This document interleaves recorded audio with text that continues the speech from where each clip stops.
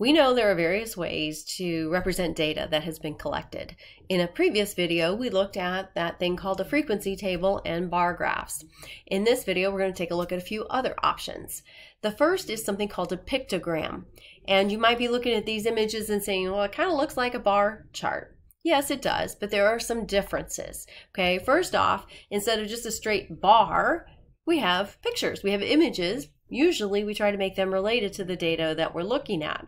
So the first one is pretty much really you're right it's like a bar graph except the bar itself is made up the letter blocks to represent the letter but we still have the frequency on the vertical column and the uh, category on the horizontal axis the second image, though, is really a little bit different. Again, it still kind of looks like a bar graph, but we don't have a frequency axis anywhere on here, and it's turned sideways.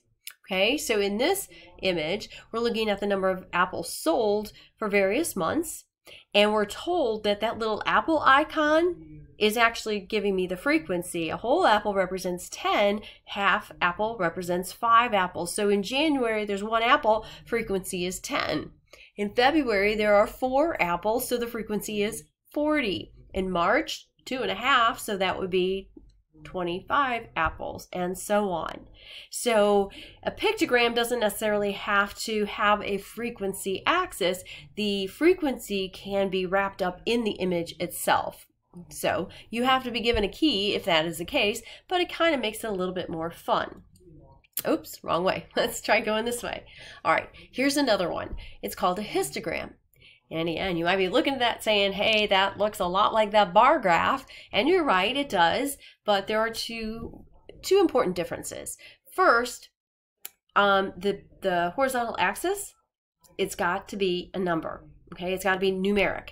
And in fact, it has to be like a number line. So we're going to start at zero and go up to 20. Or we're going to start, you know, just have a section, but it's going to be in numeric order across the horizontal axis. So in this case, we're looking at various scores between zero and 20. So my horizontal axis is labeled neatly between zero and 20 and it's equally spaced. The other difference between this and a bar uh, graph is that the little bars themselves are right next to each other. There's no gaps in them except like we do have a gap here at the beginning, a huge gap. But then if you look at the frequency table, you notice we have two that got a zero and one that got a five.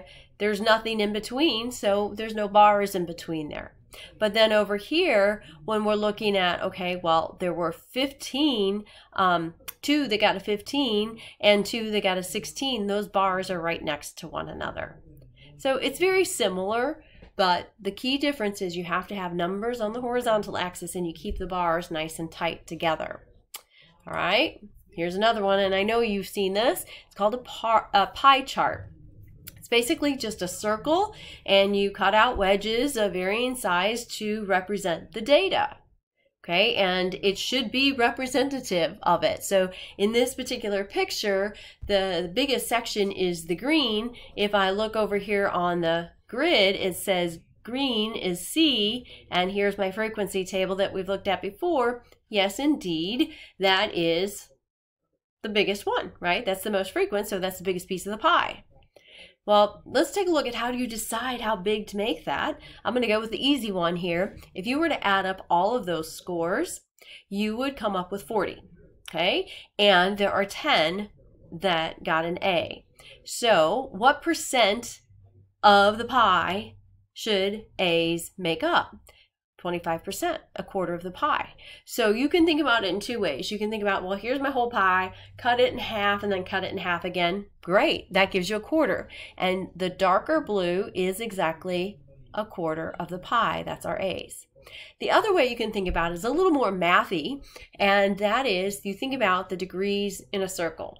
A circle has 360 degrees all the way around from the center. So I have 25% of 360 degrees, that's going to equal 90 degrees. So if I'm starting at the center, I want to mark out 90 degrees, which is a right angle, and that will give me how much of the pie for the A's. All right, let me know if you have any questions.